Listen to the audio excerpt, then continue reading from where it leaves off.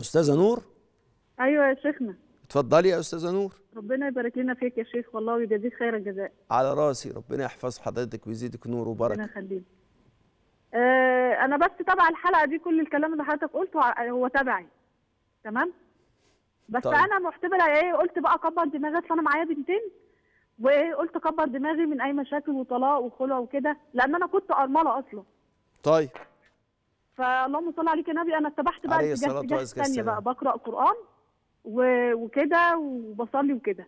بس في حاجة عايز أسألك فيها أنا عندي سؤالين قبل كده يعني عندي سؤالين غير ده تمام؟ إن شاء الله ربنا يجعلك انت إن شاء الله من الصابرات وبطلة وده مش معنى كده إن أنا بقول بقول يا جماعة الخير مش معنى كده إن أنا بقول للأستاذة نور إن هي يعني ان إن الرجالة يعم- يعملوا كده يمارسوا العنف لأ.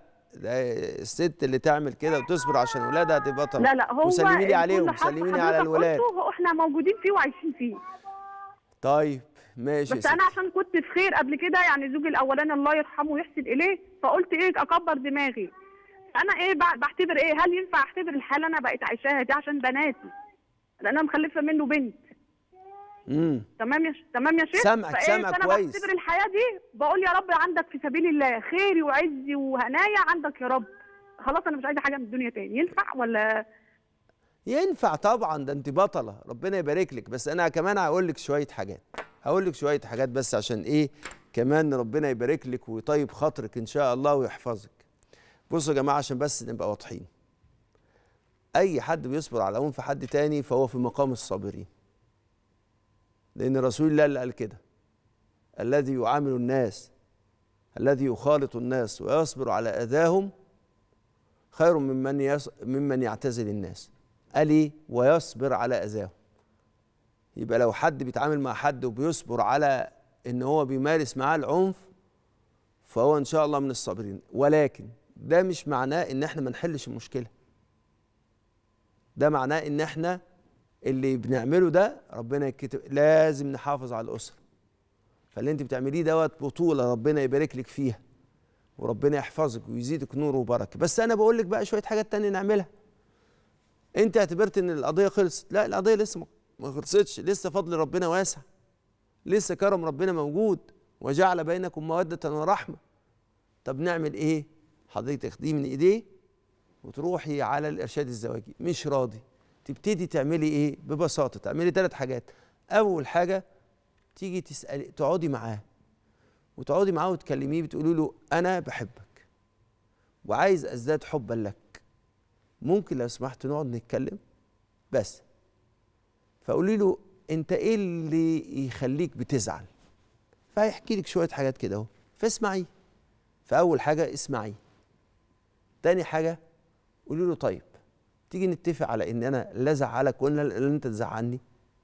يعني إحنا مش هنعمل اللي أنت بتقوله ده بس لو سمحت أنا مش شايفة الإنسان الكريم يتضرب أو الانسان الكريم يتعنف ولا يتهزأ. وأنا في الآخر خالص أنا منسوبة إليك.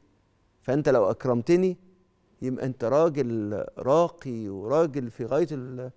ويبقى أنت مع حضرة النبي وبتتخلق بأخلاق حضرة النبي. بهدوء كده. تالت حاجة وده شيء مهم جدا أنت ممكن تكوني عارفة معلومة عنه في أسرته وإن هو كان بيتمارس مع العنف وأنت المعلومة دي عديتيها. بس المعلومة دي ممكن تخليه هو عامل زي الطفل الصغير اللي محتاج طبطبة. أنا بقول الكلام ده للراجل وللست عشان الناس أنتوا عندكم خير كتير. أنتوا عندكم نور ومدد من ربنا. اوعوا تفتكروا إن أنتوا عجزة. إحنا فقراء بس ربنا معانا. فانت لو عملت ده ربنا يغير كتير في حياتك. فإن شاء الله ربنا سبحانه وتعالى يكرمك ويوسع عليكي زي ما ربنا موسع عليكي وبيعينك كده ومخليكي من الصابرات. ربنا يكرمك ويزيدك خير وبركة وده زي ما أنا قلت ده مش مبرر الرجاله إن هم يستمروا العنف. وفي نفس الوقت وبالذات في حالة أختنا نور. ولكن أنا بقول لك إن أنت اللي فات أنت صابرة وتصبري ولكن في نفس الوقت تعالجي المشكلة. تجيبيه نتكلم معاه في الارشاد الزواجي وفي نفس الوقت تعملي الخطوات اللي أنا قلت لك عليها وربنا يكرمك ويوسع عليك إن شاء الله. نعم.